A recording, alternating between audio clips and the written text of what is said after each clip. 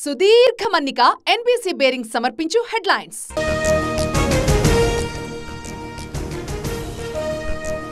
మేడిగడ్డను బాంబులతో పేల్చారా లేదా పిట్ట గూడు కడితే కూలిందా? కాళేశ్వరరావు చెప్పాలన్న సీఎం రేవంత్. ఇసుకపై పేక మేడలు కట్టారు. వాస్తవాల్ని ప్రజలకు చెబుతాం. కాళేశ్వరం కమామీషు తేల్చుతామన్న సీఎం.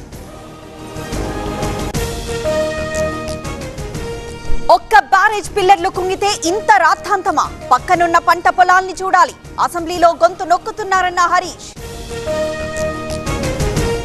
బీఆర్ఎస్ చలో నల్గొండ సభ. అటు కాంగ్రెస్ మేడారం విజిట్. అధికార ప్రతిపక్షాల పోటాపోటీ అడ్డుకుంటామని పత్తా లేకుండా పోయారు. ప్రజా ప్రవాహాన్ని తట్టుకోగలరా? కోమటిరెడ్డి బ్రదర్స్ పై జగదీష్ రెడ్డి ఫైర్. గ్రేటర్ హైదరాబాద్లో బీఆర్ఎస్కు షాక్. సీఎం రేవంత్ను కలిసిన డిప్యూటీ మేయర్ దంపతులు కాంగ్రెస్లో చేరేందుకు సన్నాహాలు. ఎమ్మెల్సీ అంటే పదవి కాదా? బీసీలకు ఏమీ చేయలేదనడం సరికాదు. జంగా కృష్ణమూర్తిపై అనిల్ కుమార్ ఫైర్. ఇన్ఛార్జ్ల చేంజెస్ ఇక ఉండబోవు. తుది జాబితాలో స్వల్ప మార్పులుండొచ్చు.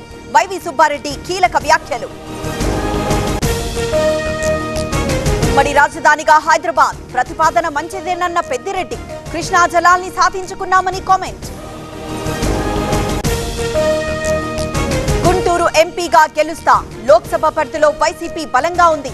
Party in charge Ummareddy Venkataramana. తొంభై ఐదు శాతం కులగణన పూర్తి. బీసీలో పెరిగిన ఆత్మాభిమానం. మంత్రి చెల్లుబోయిన వ్యాఖ్యలు. పాత బస్తీలో ఐటీ సోదాలు. కింగ్స్ ప్యాలెస్ యజమాని నివాసంలో తనిఖీలు. కీలక డాక్యుమెంట్ల పరిశీలన.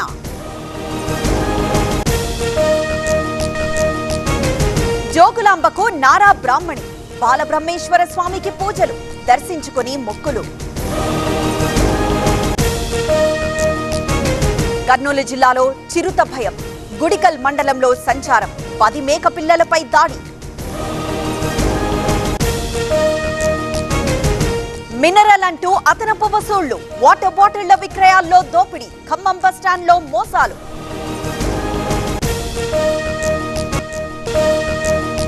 భద్రతా బలగాల గుప్పిట్లో ఢిల్లీ. రంగంలోకి కేంద్ర బలగాలు. సరిహద్దుల వెంట భారీ బందోబస్తు. సుదీర్ఘ మన్నిక ఎన్బీసీ బేరింగ్ సమర్పించు హెడ్లైన్స్.